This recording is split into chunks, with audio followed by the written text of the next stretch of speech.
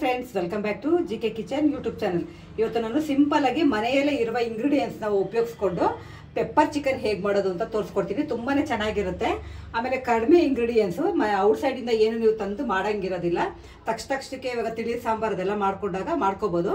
ನೋಡಿ, ಒಂದು K G ನಾನು ಇವಾಗ ಸ್ಕಿನ್ ಔಟ್ ಮಾಡಿರೋ ಚಿಕನ್ ತೊಗೊಂಡಿದ್ದೀನಿ. ಫಸ್ಟ್ ಇದನ್ನ ಹಾಗೆ ಅಂದರೆ ಎಣ್ಣೆ ಏನು ಹಾಕಕ್ಕೆ ಹೋಗ್ಬಾರ್ದು. ಹಾಗೆ ತೊಳೆದಿದ ತಕ್ಷಣ ಒಂದು ಬಾಂಡ್ಲಿಗೆ ಹಾಕಿ, ಇದನ್ನ ಸ್ವಲ್ಪ ಉಪ್ಪು ಅರಿಶಿನ ಪುಡಿ ಹಾಕಿ ಸ್ವಲ್ಪ ಹೊತ್ತು ಬೇಯಿಸ್ಕೊಂಡ್ಬಿಡೋಣ ಒಂದು ಐದರಿಂದ ಹತ್ತು ನಿಮಿಷ ಚೆನ್ನಾಗಿ ಬೇಯಿಸ್ಕೋಬೇಕು.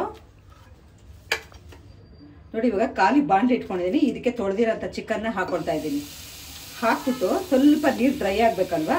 ನೋಡಿ ಹಾಗೆ ಒಂದ್ಸತಿ ಮಿಕ್ಸ್ ಮಾಡಿ ಉಪ್ಪು ಅರಿಶಿನ ಪುಡಿ ಹಾಕ್ಬಿಡ್ತೀವಿ. ಅರಿಶಿನ ಪುಡಿ ಏನಕ್ಕಪ್ಪ ಹಾಕೋದು ಅಂದರೆ ಚಿಕನಲ್ಲಿ ಒಂಥರ ಸ್ಮೆಲ್ ಬರುತ್ತಲ್ವ? ಅದು ಬೇಗ ಆವಿಯಾಗಿ ಹೋಗುತ್ತೆ ಅಂತ ಅಷ್ಟೇ. ನೋಡಿ, ಇದಕ್ಕೆ ನಾನು ಎಣ್ಣೆ ಏನೂ ಹಾಕೊಂಡಿಲ್ಲ, ಹಾಗೆ ಈಗ ಫ್ರೈ ಮಾಡ್ಕೊಳ್ತಾ ಇದ್ದೀನಿ. ಚಿಕನ್ ಮೇಲೆ ಇದಕ್ಕೆ ಎಷ್ಟು ಬೇಕೋ ಅಷ್ಟು ಉಪ್ಪನ್ನ ಹಾಕೋಬೇಕು. ಸ್ವಲ್ಪ ಕಡಿಮೆನೆ ಹಾಕೊಂಡಿರಿ. ಆಮೇಲೆ ಬೇಕಾದ್ರೆ ನಾವು ನೆಕ್ಸ್ಟ್ ಟೈಮ್ ಉರಿತೀವಿ ನೋಡಿ ನೆಕ್ಸ್ಟ್ ಪ್ರೊಸೀಜರಲ್ಲಿ ಅವಾಗ ಮಿಕ್ಸ್ ಮಾಡ್ಕೋಬೋದು. ಬೇಕಾದ್ರೆ ಮೊದಲೇ ಹಾಕೊಂಡ್ರೆ ತುಂಬ ಉಪ್ಪಾಗ್ಬಿಡುತ್ತೆ ತಿನ್ನೋದು ಚೆನ್ನಾಗಿರಲ್ಲ. ನೋಡಿ, ಇವಾಗ ಅರ್ಶಿನ ಪುಡಿ ಹಾಕೊಳ್ತಾ ಇದ್ದೀನಿ. ಚೆನ್ನಾಗಿ ಮಿಕ್ಸ್ ಮಾಡಿ ಸ್ವಲ್ಪ ಲೋ ಫ್ಲೇಮ್ ಮಾಡಿಬಿಟ್ಟು ಇದಕ್ಕೆ ಮಿಕ್ಕಿದ್ದು ಈರುಳ್ಳಿ, ಹಸಿಮೆಣಸಿನ್ಕಾಯಿ ಅದೆಲ್ಲ ರೆಡಿ ಮಾಡ್ಕೊಳ್ಳೋಣ. ಈ ಥರ ಮಿಕ್ಸ್ ಮಾಡಿ ಸಣ್ಣ ಉರಿಲಿ ನೀವು ಇದನ್ನು ಬೇಯಕ್ಕಿಟ್ಬಿಡ್ಬೇಕು ಒಂದು ಸೈಡು ಇವಾಗ ಅರಿಶಿನ ಪುಡಿ ಉಪ್ಪೆಲ್ಲ ಹಾಕಿದ್ರೆ ಚೆನ್ನಾಗಿ ಒಂದ್ಸತಿ ಮಿಕ್ಸ್ ಮಾಡಿ ಲೋ ಫ್ಲೇಮ್ ಮಾಡಿದಿನ, ಒಂದು ಐದರಿಂದ ಹತ್ತು ನಿಮಿಷ ಕ್ಲೋಸ್ ಮಾಡಿ ಇಟ್ಕೊಳ್ಳೋಣ ನೋಡಿ ಇವಾಗ ಐದರಿಂದ ಹತ್ತು ನಿಮಿಷ ಚೆನ್ನಾಗಿ ಬೆಂದಿದೆ. ಮತ್ತು ನೀರು ಕೂಡ ನೋಡಿ ಪೂರ್ತಿ ಡ್ರೈ ಆಗಿದೆ. ನಿಮಗೆ ಕಾಣ್ತಾ ಇದೆ ನೋಡಿ. ಲಾಸ್ಟಲ್ಲಿ ಚಟ್ಪಟ್ ಅಂತ ಇದೆ. ಇವಾಗ ಇದನ್ನು ಆಫ್ ಮಾಡಿಕೊಂಡು ಇದನ್ನು ಒಂದು ತಟ್ಟೆಗೆ ಹಾಕೊಳ್ಳೋಣ. ನೋಡಿ ಚಿಕನ್ ಪೀಸ್ ಎಲ್ಲ ನೀಟಾಗಿ ತೆಗೆದ್ಬಿಡ್ತೀನಿ. ಯಾಕೆ ಸುಮ್ಮನೆ ಎರಡು ಮೂರು ಪಾತ್ರೆ ಮಾಡ್ಕೋಬೇಕಲ್ವಾ ಮನೇಲಿ ಅಡುಗೆ ಮಾಡೋದ್ರಿಂದ? ನೋಡಿ ಅದೇ ಪಾ ಬಾಂಡ್ಲಿಗೆ ಇವಾಗ ಸ್ವಲ್ಪ ಎಣ್ಣೆ ಹಾಕ್ಕೊಳ್ತಾ ಇದ್ದೀನಿ. ಒಂದು ನಾಲ್ಕೈದು ಸ್ಪೂನ್ ಎಣ್ಣೆ ಹಾಕೊಂಡ್ರೆ ಸಾಕು. ಸ್ವಲ್ಪ ಚೆನ್ನಾಗಿ ಕಾಯಲಿ. ಇವಾಗ ನೋಡಿ ಎಣ್ಣೆ ಕಾದಿದೆ ಯಾಕಂದರೆ ಚಿಕನಲ್ಲಿ ಸ್ವಲ್ಪ ನೀರು ಗಂಟೆ ಇರ್ತಾರೆ ಅದಕ್ಕೆ ಹಿಂಗೆ ಚಟಪಟ ಅಂತ ತೊಗೊಂಡ್ಬರ್ತಾ ಇದೆ. ಇವಾಗ ನೋಡಿ ಹಚ್ಚಿ ರೆಡಿ ಮಾಡಿರೋಂಥ ಒಂದು ಈರುಳ್ಳಿ ಹಾಕೊಳ್ತಾ ಇದ್ದೀನಿ ಒಂದು ಕೆ ಜಿಗೆ ಒಂದೇ ಈರುಳ್ಳಿ. ಜಾಸ್ತಿ ಹಾಕೊಳಕ್ಕೆ ಹೋಗ್ಬೇಡಿ. ಹಾಕ್ಕೊಂಡು ಜೊತೆಗೇನೆ ನಾನು ಸ್ವಲ್ಪ ಹಸಿಮೆಣ್ಸಿನ್ಕಾಯಿ, ಖಾರಕ್ಕೆ ನೋಡಿ ನಾಲ್ಕರಿಂದ ಐದು ಹಸಿಮೆಣ್ಸಿನ್ಕಾಯಿ ಹಾಕೊಂಡು ಚೆನ್ನಾಗಿ ಇದನ್ನು ಫ್ರೈ ಮಾಡ್ಕೊಳ್ಳೋಣ ಈಗ. ನೋಡಿ ಈರುಳ್ಳಿ ಮತ್ತು ಹಸಿಮೆಣ್ಸಿನ್ಕಾಯಿ ಹಾಕಿ ಎರಡರಿಂದ ಮೂರು ನಿಮಿಷ ಹಾಗೆ ಫ್ರೈ ಮಾಡಿ ಒಂದು ಸ್ವಲ್ಪ ಕರ್ಬೇವು ಸೊಪ್ಪು ಹಸಿದೆ ಹಾಕೋಬೇಕು. ಒಣಗಿಸಿ ಎಲ್ಲ ಹಾಕೊಳ್ಕೊಬೇಡಿ ಚೆನ್ನಾಗಿರೋದಿಲ್ಲ.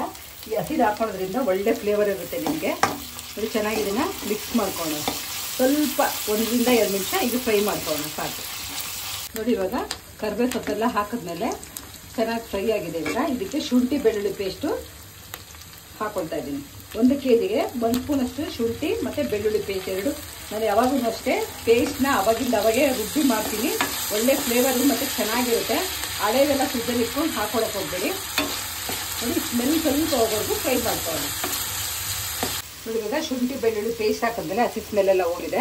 ಇವಾಗ ಬೇಯಿಸಿ ಇಟ್ಕೊಂಡಿರೋ ಅಂಥ ಚಿಕನ್ನ ಇದಕ್ಕೆ ಹಾಕೊಳ್ತಾ ಇದ್ದೀನಿ ಈ ಹೋಟ್ಲಿಗೆಲ್ಲ ಹೋದಾಗ, ನೋಡಿ, ಈ ಥರ ಉಪ್ಪು ಅರಿಶಿನ ಪುಡಿ ಹಾಕಿ ಚಿಕನ್ನ ಬೇಯಿಸ್ಕೊಂಡ್ಬಿಟ್ಟಿರ್ತಾರೆ. ನೀವು ಯಾವ ಚಿಕನ್ ಕೇಳ್ತೀರೋ ಆಗಿಂದಾಗಲೇ ರೆಡಿ ಮಾಡಿ ಫಟಾಫಟ್ ಅಂತ ನಿಮಗೆ ಒಂದು ಎರಡು ನಿಮಿಷದಲ್ಲಿ ರೆಡಿ ಮಾಡಿಬಿಡ್ತಾರೆ.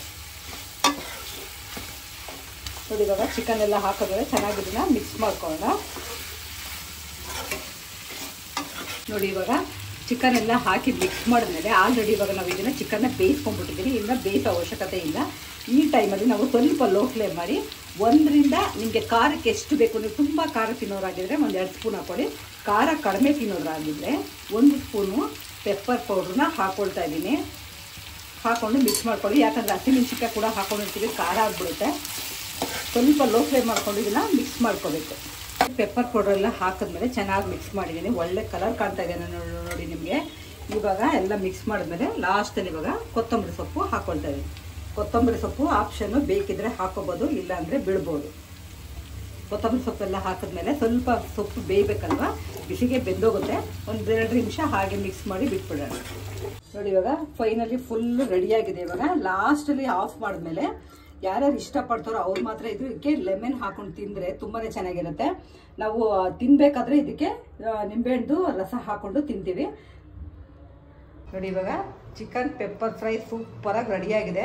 ಇದನ್ನು ನನ್ನ ಮಗಳು ಮತ್ತು ನನ್ನ ನಾದಿನಿ ಮಗಳು ತುಂಬಾ ಇಷ್ಟಪಟ್ಟು ತಿಂತಾ ಇದ್ದಾರೆ ನಿಮಗೂ ವಿಡಿಯೋ ಇಷ್ಟವಾದಲ್ಲಿ ಲೈಕ್ ಮಾಡಿ, ಶೇರ್ ಮಾಡಿ, ಸಬ್ಸ್ಕ್ರೈಬ್ ಮಾಡಿ. ಪಕ್ಕದಲ್ಲೇ ಇರೋ ಬೆಲ್ ಐಕನ್ನ ಕ್ಲಿಕ್ ಮಾಡಿ. Thank you.